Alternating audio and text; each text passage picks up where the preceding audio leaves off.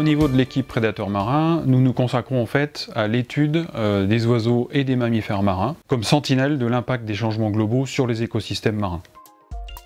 Ce sont des animaux qui sont situés en haut des réseaux alimentaires. Et donc ils vont intégrer la variabilité dans le temps et dans l'espace de ces écosystèmes. Alors pour étudier ces animaux, on se base sur des suivis démographiques, c'est-à-dire des suivis de la reproduction et de la survie des individus qui sont identifiés avec des bagues. Et ces bagues, en fait, sont un peu comme une carte d'identité individuelle, ils vont nous permettre de suivre les individus tout au long de leur vie et de savoir euh, ce qu'ils font pendant leur vie.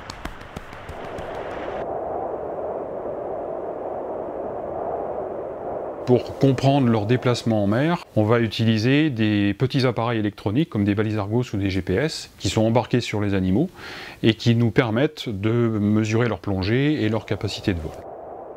Alors l'ensemble de ces études repose essentiellement sur des suivis à long terme. Ce sont des observations qui sont conduites année après année, parfois depuis plus de 60 ans, sur certaines espèces. Si on prend l'exemple d'une espèce comme le manchot royal, ça fait 50 ans qu'on suit les populations de cet animal, et on s'est aperçu que lors de certaines années, le succès reproducteur s'effondrait, c'est-à-dire que les poussins mouraient, et que la survie euh, des adultes diminuait également. Alors comment expliquer ce phénomène? On a suivi ces populations depuis de nombreuses années avec des petits appareils enregistreurs qui nous ont permis de savoir où ils allaient s'alimenter et à quelle profondeur. On s'est aperçu qu'en général, les oiseaux vont s'alimenter au sud de Crozet, à peu près à une centaine de kilomètres, Or, lors des années catastrophes, cette distance d'une centaine de kilomètres va doubler ou tripler, et les oiseaux vont devoir aller s'alimenter beaucoup plus loin et plonger beaucoup plus profond pour trouver leur nourriture. Pourquoi est-ce que ces zones d'alimentation s'éloignent considérablement des colonies? Eh bien, en travaillant avec des océanographes, nous avons pu montrer que ces années particulières correspondaient à des années de réchauffement de l'océan.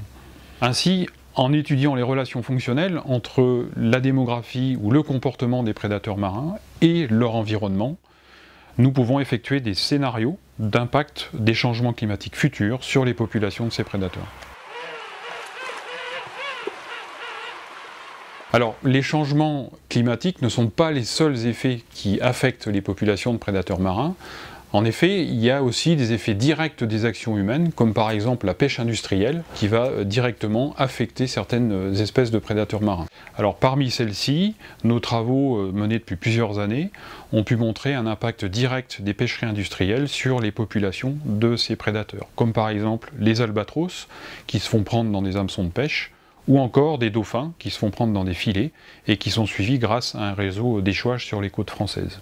Alors l'ensemble de ces résultats sont utilisés ensuite par des instances de conservation au niveau national et international pour renforcer et aider à la protection de ces espèces protégées.